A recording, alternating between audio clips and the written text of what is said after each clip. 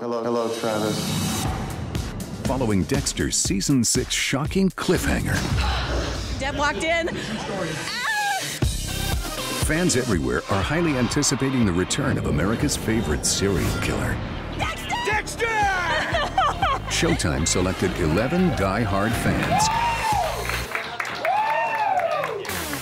to hear their reactions to Dexter's latest predicament. Well, how about the end of season six? Deborah finds out. I was actually heartsick. I was like, oh, I was I just I honestly want thought her I was to gonna find throw out. up. It freaked me out. I mean, we knew it was going to happen. It was inevitable. It was like, oh, oh, it happened. It happened. Like, what do you do?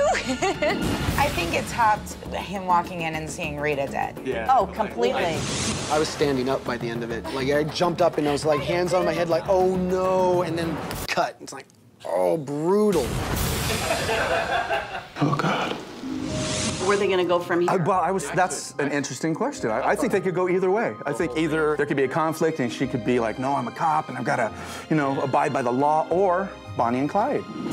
I say Dexter just kills her and goes on with his killing spree like his brother. Yes, that was uh, that. Now we're talking. Now we're talking good TV. She's pulling her gun. She is Yeah, absolutely like- pulling her gun on him. If I was in that position, I would pop up. away from the body. Deb, it's me. I thought the way they portrayed the character of Deb, that it's kind of incongruent that she would let him get away with it. I don't know. I disagree. The fact that she does now have these conflicting and unusual feelings for her brother, that puts a crack in her moral armor, so to speak. Is she gonna start feeding him cases? Is she gonna start feeding him? No, she's too straight laced. Not gonna happen. Don't you think it's really interesting that we're sitting here talking about her as being so straight laced, but she has that other side to her? Don't move. In an hour, this place will be swarming with police. If I were you, I'd be gone by then.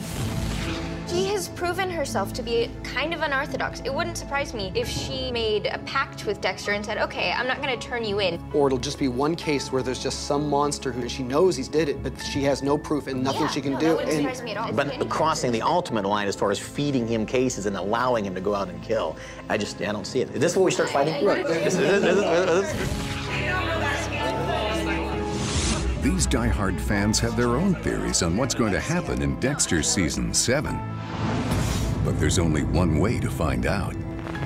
Watch the Season 7 premiere of Dexter